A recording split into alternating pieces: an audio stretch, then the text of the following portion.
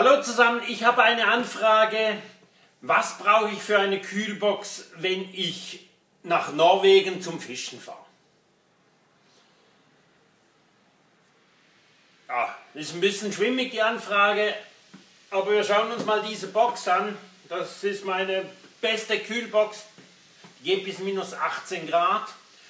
Aber diese Box hat eine Gefrierleistung von 1,5 Kilogramm am Tag.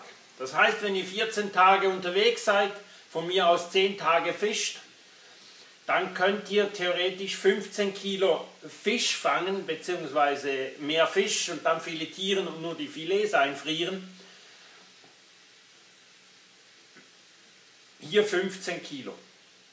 Bei der GT, das ist eine Box, die wir verkaufen, vorwiegend an Außendienstmitarbeiter, die bei 50 Grad im Sommer im Auto noch die minus 20 Grad erreichen müssen. Diese Box hat einen dreimal stärkeren Kompressor drin.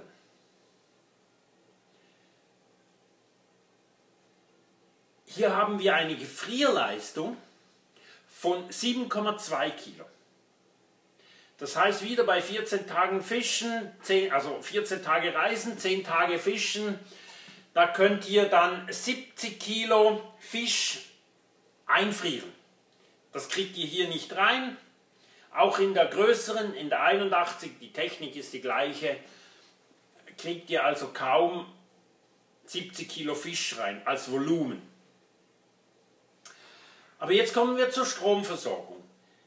Wenn diese Box mit 1,5 Kilo Gefrierleistung arbeiten muss, zieht die Box um die 100 Ampere pro Tag, also Amperestunden pro Tag.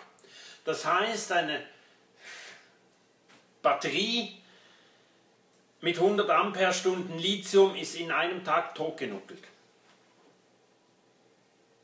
Sonst diese Box hält 5 Tage. Diese Box hier, die braucht am Tag um die 240 bis 250 Ampere Stunden aus der Batterie.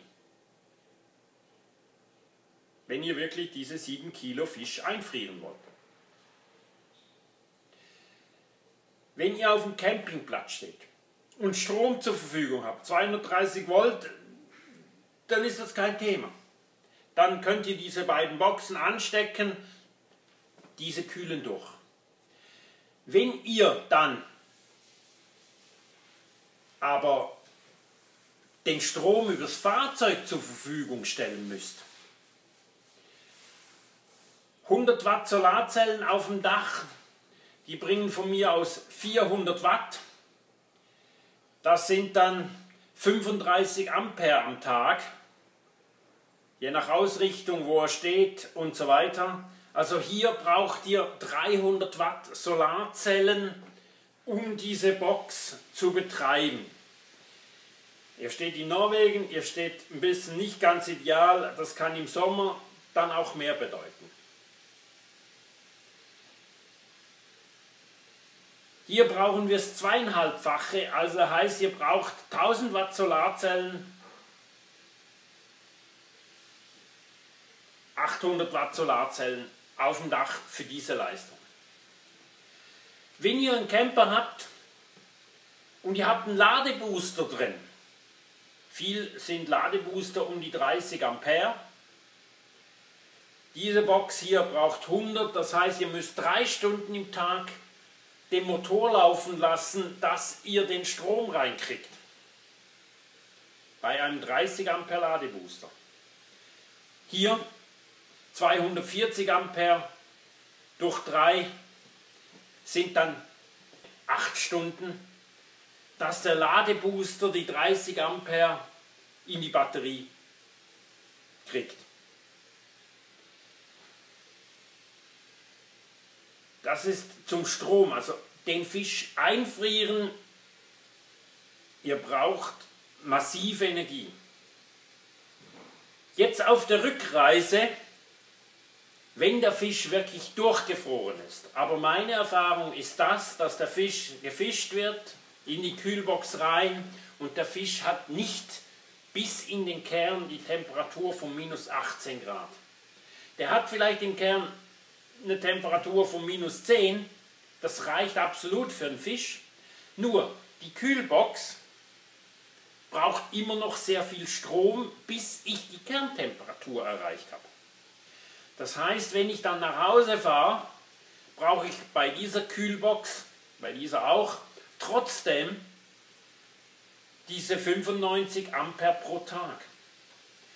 Wenn ich fahre, ist das überhaupt kein Problem. Da fährt ihr mal, eine Pause, das ist auch kein Problem. Gehe ich aber auf Schiff bzw. auf die Fähre, da bin ich unter Umständen 24 Stunden stehe ich da auf der Fähre, habe unter Umständen auch keinen Zugriff auf die Kühlbox. In diesen 24 Stunden braucht diese Box immer noch diese 95 Ampere. Das heißt, eine Lithiumbatterie mit 100 Ampere wird in der Zeit totgenuckelt. Diese Box hier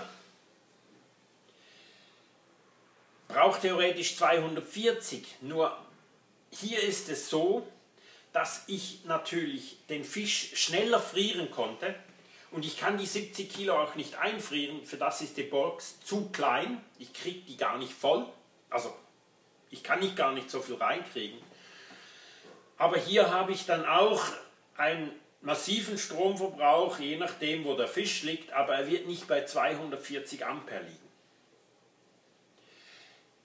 Wenn ich diese Box, den Kern wirklich durchgefroren habe, bei der und bei der die Erhaltungsenergie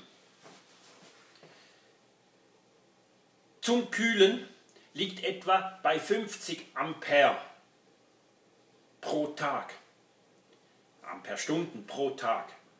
Das heißt, mit einer Standard-Bleibatterie 100 Ampere könnt ihr die 24 Stunden auf dem Schiff überstehen. Ich hoffe, die Anfrage reicht euch. Was brauche ich für eine Kühlbox zum Angeln? zum Angeln in Norwegen oder sonst irgendwo. Das Thema ist nicht den Stromverbrauch, die die Box hat während einer normalen Kühl- oder Tiefkühlphase, sondern die Rund das Runterkühlen, das Gefrieren vom Fisch. Ich mache hier euch einen Link auf diese Box. Hier ein Link für diese Box. Und hier unten hatte ich auch eine Anfrage übers Fischen und ich wünsche euch einen schönen Tag.